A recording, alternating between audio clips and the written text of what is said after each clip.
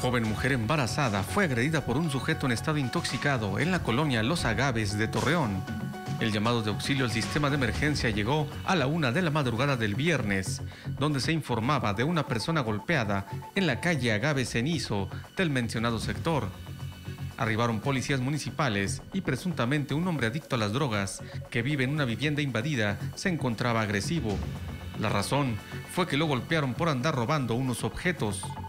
Molesto, regresó a la finca donde vive con otras personas. Ahí amenazó con un cuchillo a un menor y atacó a golpes a la madre de este, de 27 años con tres meses de embarazo. Luego de los hechos, el sujeto escapó con rumbo desconocido. Socorristas de Cruz Roja Mexicana acudieron al domicilio a revisar a la mujer, quien presentaba crisis nerviosa.